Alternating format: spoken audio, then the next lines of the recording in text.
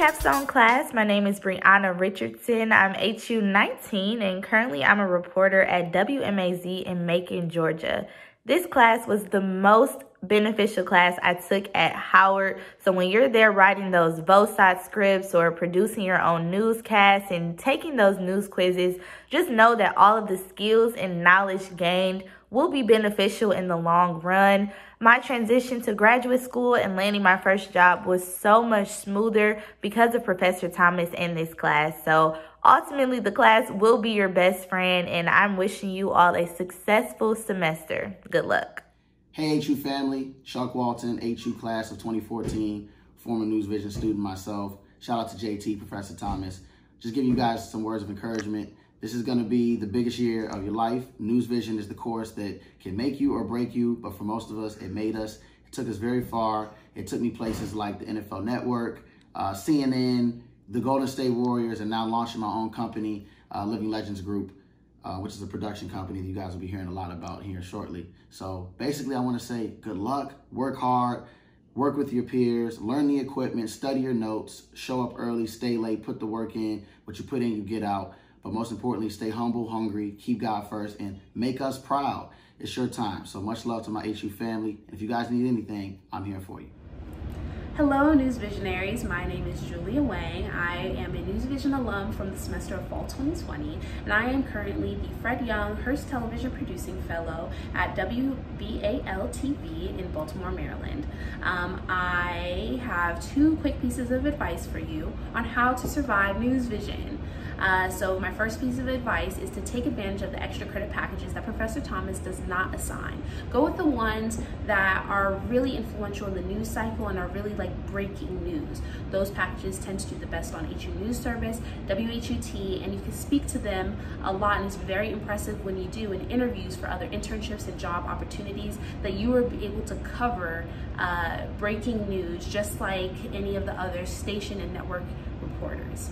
My second piece of advice is to communicate, communicate, communicate, and have a great workflow when you're working with your uh, classmates on those group projects and your newscast that ends up being your final newscast.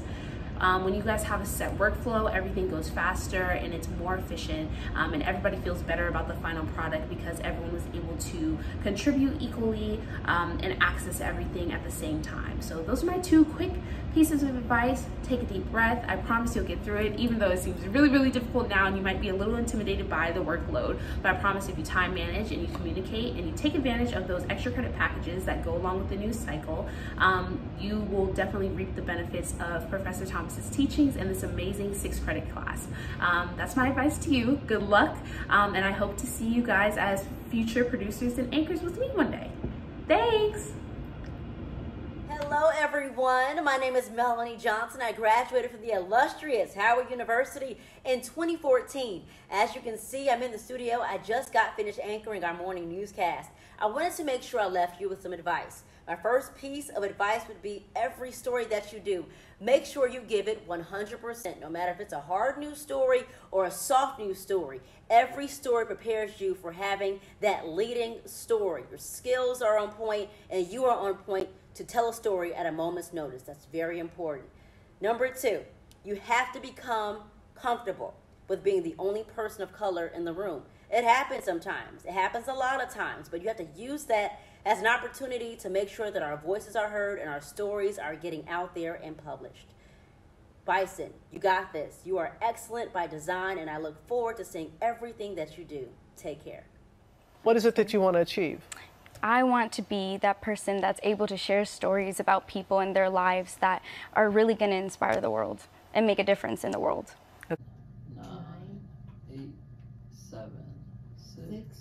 Five, four, three, two, one. Live from the CBS 19 News Studio, this is Good Morning Charlottesville. Charlottesville News First. News Vision has been very necessary in my career.